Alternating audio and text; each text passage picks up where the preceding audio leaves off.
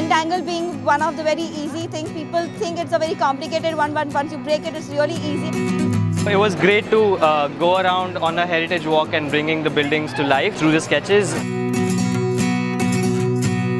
It was not just limited to myself, but I could actually spread the Zentangle, spread the Zen thing all around, so that was all the more better. It was really good. What was amazing was to be broadcasted on social media across the country with my sketches. I actually saw some somewhere around 70 year old uncle to 6 to 7 year old kid, everybody doing Zentangle over here, which was really amazing. Like there's no age bar doing it. Actually got a wonderful opportunity over here through Faber-Castell to actually teach. That was all the more better. I recommend everybody to come to Kala Ghoda and to the Faber-Castell Art Station and let your creativity flow.